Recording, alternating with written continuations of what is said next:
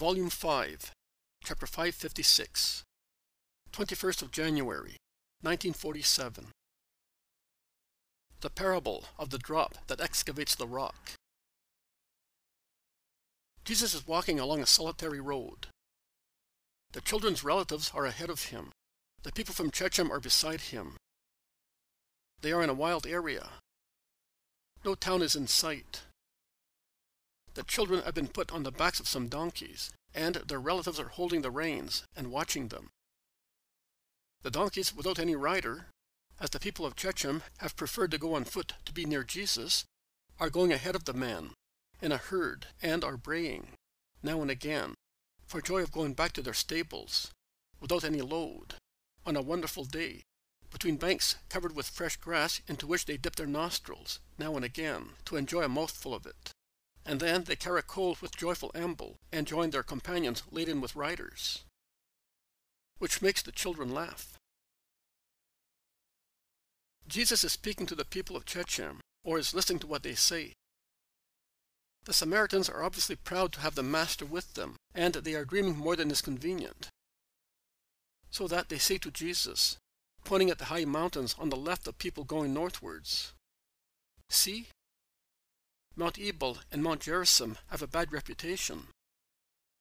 But, at least as far as you are concerned, they are much better than Zion. And they would be completely so, if you wanted that, by choosing them as your dwelling place. Zion is always the den of the Jebusites. And the present ones are more hostile to you than the ancient ones were to David. By making use of violence, David captured the citadel. But as you do not make use of violence, you will never reign there. Never. Stay with us, Lord, and we will honor you. Jesus replies, Tell me, would you have loved me if I had tried to conquer you through violence? Not really. We love you because you are all love. So it is through love that I reign in your hearts. Yes, it is, Master. But it is so because we have accepted your love. But those in Jerusalem do not love you. That is true. They do not love me. But since you are all expert in trading, tell me, when you want to sell, buy, and make a profit, do you lose heart because in certain places people do not love you? Or do you do business just the same, as you are only anxious to make good purchases and good sales, without worrying whether the money you have earned is devoid of the love of those who sold to you or bought of you? We are only anxious to do good business. It does not matter if it lacks the love of those who deal with us. Once the business is done, there is no more connection. Only the profit remains. The rest is of no importance. Well, I do the same. Since I came to look after the interests of my father, I must take care of them only. Then, if I find love, or derision, or harshness where I look after them, it does not worry me. In a trading town, one does not make a profit, purchases or sales with everybody. But even if you deal with one person only, and you make a good profit, you say that your journey was not a useless one, and you go back again and again. Because what you achieve with one person only, the first time, you achieve with three people the second time, with seven the fourth time, with ten and ten thereafter. Is it not so? I act for the conquest of heaven, as you do for your business. I insist, I persevere, I find that the little in number or the great are sufficient, because even only one soul saved is a great thing, the great reward obtained through my work. Every time that I go somewhere and I overcome what may be the reaction of the man, so that as king of the spirit I may conquer only one subject, I do not say that my going there was useless, or that I suffered or worked in vain. But I say that mockery, insults, accusations were holy, loving, and desirable. I would not be a good conqueror if I stopped before the obstacles of granitic fortresses. but it would take you ages to defeat them. You are a man. You will not live for ages. Why waste your time where you are not wanted? I shall live much less. Nay, I shall soon be no longer among you. I shall no longer see dawns and sunsets like milestones of days that rise and of days that end, but I shall only contemplate them as the beauties of creation, and for them I will praise the Creator who made them, and who is my Father. I shall no longer see trees blossom and corn ripen, neither shall I need the fruits of the earth to keep alive, because when I go back to my kingdom, I will feed on love. And yet I will demolish the many fortresses closed in the hearts of men. Look at that stone up there, under that spring, on the slope of the mountain. The spring is a very scanty one. I would say that the water does not flow, but it drips. A drop that has been falling for ages on that rock protruding from the side of the mountain. And the stone is a very hard one. It is not crumbly limestone or soft alabaster. It is very hard basalt. And yet, see how at the center of the convex rock, and despite its shape, a tiny sheet of water has formed, not any larger than the calyx of a water lily, but sufficient to reflect the blue sky and quench the thirst of birds. Did man perhaps make that cavity on the convex rock to place a blue gem on the dark rock and a refreshing cup for birds? No. Man took no part in it. In the many centuries during which men have passed before this rock, that drop of water has been hollowing out for ages with unrelenting, rhythmical, erosive action. We are perhaps the first to notice this dark basalt, with its liquid turquoise in its center. We admire its beauty, and we praise the eternal Father who wanted it, to delight our eyes, and to refresh the birds that nest in the vicinity. But tell me, was it perhaps the first drop that leaked under the basaltic ledge above the rock, and fell from that height on this block? Was it that drop that excavated the cup which reflects the sky, the sun, clouds, and stars? No.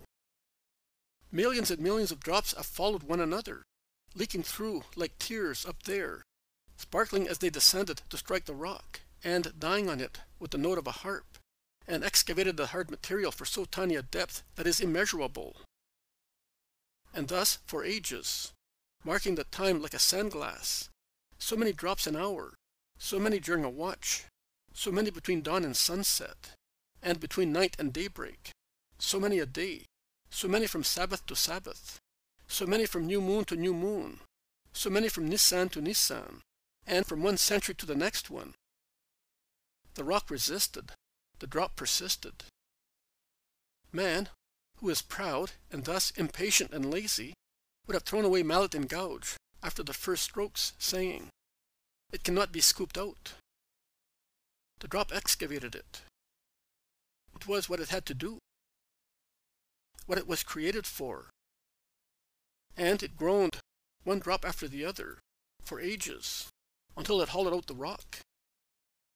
And afterwards it did not stop, saying, Now the sky will see to nourishing the cup, which I excavated, with dews and rain, with frost and snow. But it continued to drop, and by itself it filled a tiny cup during the warm summer months, during the rigors of winter, while pelting or drizzling rains wrinkle the sheet of water, but cannot embellish or widen or deepen it, because it is already full, useful and beautiful. The spring knows that its daughters, the drops, go to die in the little basin, but does not hold them back. On the contrary, it urges them towards their sacrifice. And to avoid them being left alone and becoming sad, it sends new sisters after them, so that the dying ones are not lonely, and they see themselves perpetuated in the others. Likewise, being the first to strike the solid fortresses of hardened hearts thousands of times, and being perpetuated in my successors, whom I will send until the end of time, I will open a way into them, and my law will enter like a sun wherever there are human creatures. If they refuse the light, and close the ways opened with unexhausted work, my successors and I will not be guilty in the eyes of our Father. If that spring of water had followed a different course, seeing the hardness of the rock, and had fallen in drops farther away, where the soil is covered with grass, tell me, Would we have that shining gem? And would the birds have that clear refreshment? No, it would not have even been seen, master. At most, some grass, thicker also in summer, would have indicated the spot where the spring dripped. Or also, less grass than elsewhere, as its roots rotted in the perpetual dampness. And slush. Nothing else. Thus a useless trickle. You are right. Useless, or at least worthless. I also would accomplish an imperfect task, if I were to prefer only those places where hearts are willing to accept me out of justice or fondness. Because I would work, but without any fatigue, nay, with great satisfaction of my ego, with a complacent compromise between duty and pleasure. It is not toilsome to work where one is surrounded by love, and where love makes souls ductile to work on. But if there is no fatigue, there is no merit. Neither is there much profit, because few conquests are made if one limits oneself to those who are already in justice. I would not be myself if I did not try to redeem all man, first to the truth, and then to grace. And do you think that you will succeed? What else can you do, in addition to what you have already done, to persuade your enemies to accept your word? What, if not even the resurrection of the men in Bethany, has served to make the Jews say that you are the Messiah of God? I have still something greater to do, something much greater than that. When, Lord? When the moon of Nisan will be full. Pay attention then. Will there be a sign in the sky? They say that when you were born, the sky made it known by means of lights, songs, and unusual stars. It is true to tell men that the light had come to the world. Then, in Nisan, there will be signs in the sky and on the earth, and it will seem to be the end of the world, because of the darkness, and of the shaking, and the roaring of thunder in the firmament, and of the earthquakes in the open bowels of the earth. But it will not be the end. On the contrary, it will be the beginning. Previously, when I came, heaven gave birth to the Savior for man, and as it was a deed of God, peace was the companion of the event. At Nisan, the earth, of its own free will, will give birth to the Redeemer for itself, and as it will be a deed of man, peace will not be its companion. But there will be a dreadful convulsion, and in the horror of the hour of the century and of hell, the earth will tear its bosom under the burning arrows of divine wrath and will shout its will, too inebriated to understand its purport, too strongly possessed by Satan to stop it. Like a mad woman in labor, it will think it is destroying the fruit believed to be cursed, and will not understand that it is instead rising it thus to places where neither sorrow nor snares will reach it. The tree, the new tree, will then spread out its branches all over the earth, for ever and ever, and he who is speaking to you will be acknowledged either with love or with hatred, as the true Son of God and the Messiah of the Lord. And woe to those who will recognize him without admitting it, and without being converted to me. Where will that happen, Lord? In Jerusalem. It is a city of the Lord. So we shall not be there, because in the month of Nisan we have to stay here for Passover. We are faithful to our temple. It would be better if you were faithful to the living temple that is neither on the Moriah nor on the Gerizim, but being divine, is universal. But I can wait for your hour, when you will love God and His Messiah in spirit and truth. We believe that you are the Christ.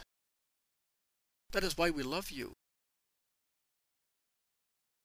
To love is to leave the past and enter my present time. You do not love me perfectly yet. The Samaritans look at one another stealthily, without speaking. Then one of them says, For your sake, to come to you, we would do it. But even if we wanted, we cannot enter where there are Judeans. You know that. They do not want us. And you do not want them. But be at peace. Before long, there will no longer be two regions, two temples, two opposed opinions, but one people only, one temple only, one faith only, for all those eager for the truth. But I will leave you now. The children by now have been comforted, and their attention has been distracted, and long is my way back to Ephraim to arrive before it gets dark. Do not become excited. Your behavior might attract the attention of the little ones, and it is better if they do not notice my departure. Go on. I am stopping here. May the Lord guide you along the path of the earth and on those of his way. Go. Jesus draws close to the mountain and lets them go away. The last thing that is noticed of the caravan going back to Shechem is a child's joyful laughter that spreads along the silent mountain way.